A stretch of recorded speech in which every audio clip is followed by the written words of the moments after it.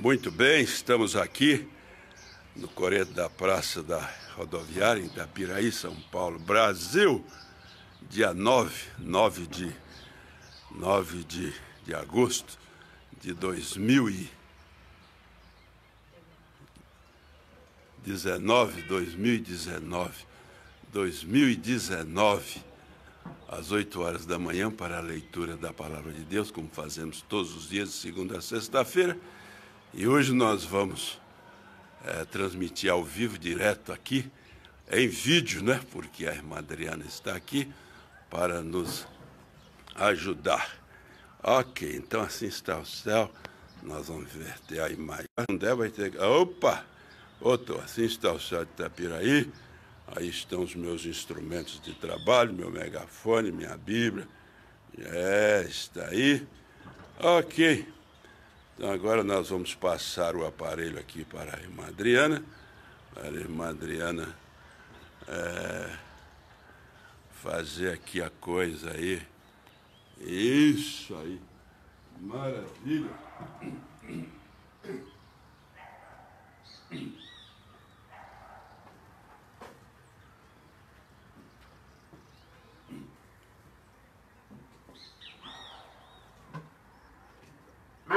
Ministério Bíblia na Rua, com o pastor Adriano e o pastor Célio Cardoso, lendo a palavra de Deus para o povo de Deus, diretamente do coreto da Praça da Rodoviária, em Itapiraí, São Paulo, Brasil, Altos da Serra de Paranapiacaba, no meio da Mata Atlântica, dia 9 9 de agosto de 2019, às 8 horas da manhã, nós estamos lendo no livro de Atos dos Apóstolos, estamos no capítulo 7, quando Estevão, o primeiro mártir do cristianismo, está preso, está falando ao Conselho Superior em Jerusalém.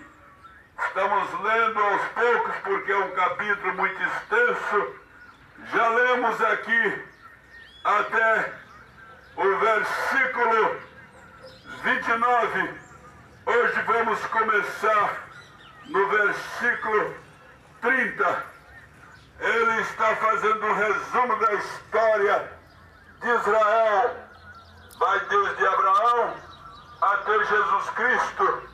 E aqui ele fala, depois que Moisés, estando no Egito, foi salvo pela misericórdia de Deus, pela graça de Deus, e quando ele tinha 40 anos de idade, ele resolveu ajudar o seu povo, mas não foi compreendido, não foi aceito. Matou um egípcio e teve que fugir.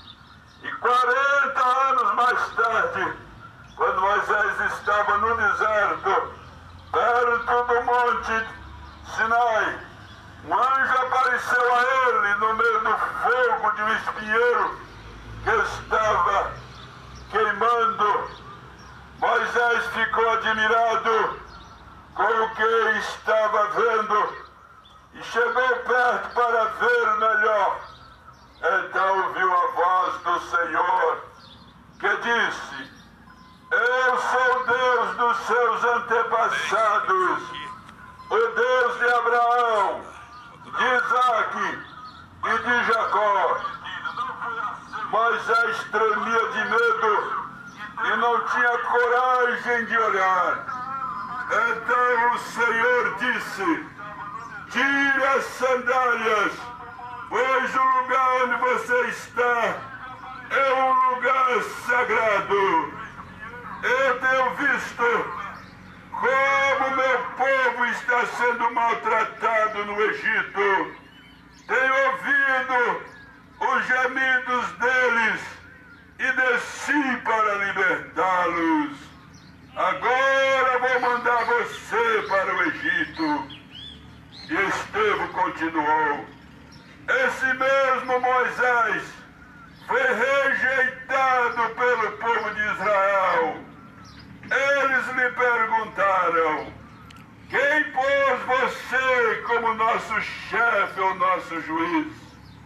Deus enviou esse Moisés como líder e libertador, com a ajuda do anjo que apareceu no espinheiro.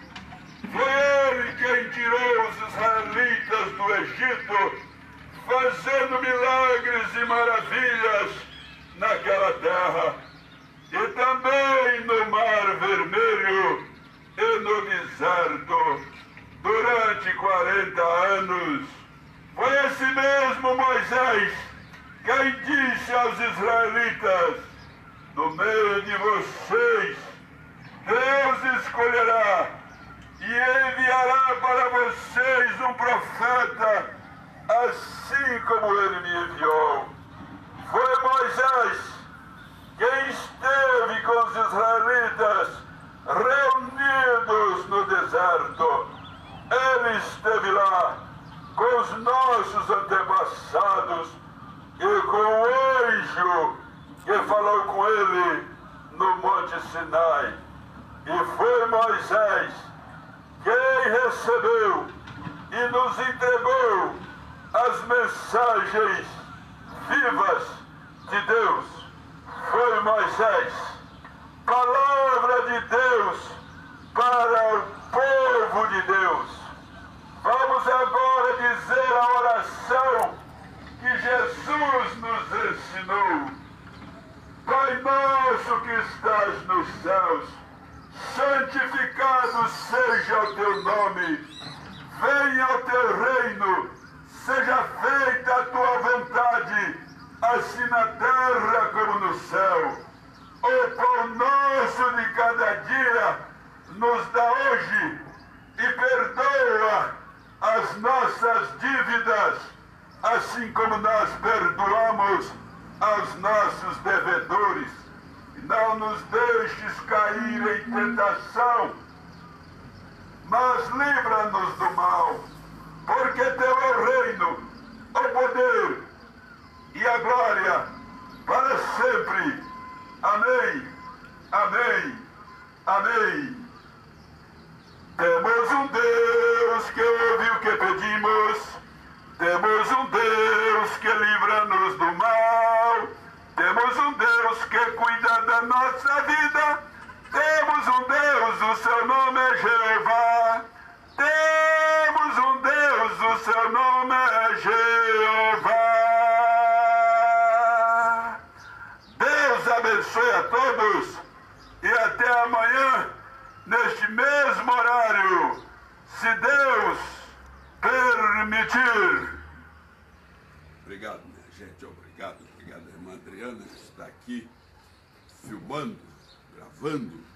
Ó, que Deus abençoe a todos que estão nos acompanhando nesta leitura na praça desse dia 9, 9 de agosto de 2019, aqui diretamente da Piraí, São Paulo, Brasil, Altos da Serra de Paranapiacaba, no meio da Mata Atlântica, exatamente às 8 horas da manhã.